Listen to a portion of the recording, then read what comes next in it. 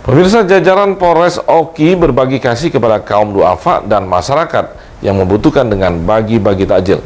Takjil yang dibagikan setiap hari selama bulan Ramadan ini diharapkan mampu meningkatkan rasa kepedulian sesama, terutama di tengah pandemi saat ini.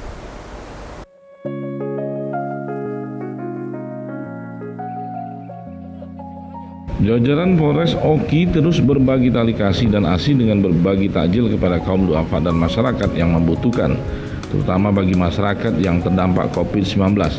Bagi-bagi takjil ini menurut Kapolres Oki Alamsa Pelupesi merupakan program Kapolda Sumsel yang dilaksanakan Polres Oki. Berikut polsek-polsek yang ada di jajaran. Dananya pun berasal dari dana sukarela yang disisikan oleh para anggota personil Polres Oki.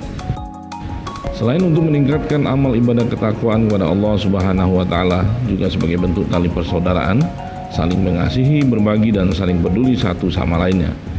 Jika sebelum bulan Ramadan berbagi berkah dan berbagi kasih juga dilaksanakan setiap hari Jumat, disebut Jumat berkah dan Jumat berbagi. Di masa pandemi ini memang kita harus terus berbagi ya, karena memang masa-masa sulit apalagi di masa bulan Ramadan ini ya banyak sedekah insya Allah banyak pahala. Dan doa orang-orang yang terzolimi itu orang-orang yang uh, membutuhkan insya Allah diijab oleh Allah Subhanahu Wa Taala.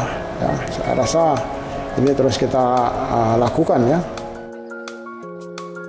Berbagi di bulan Ramadan dilakukan setiap hari menyisir perkampungan masyarakat, masjid-masjid, panti asuhan, panti sosial, yatim piatu, dan semua masyarakat yang terdampak COVID-19.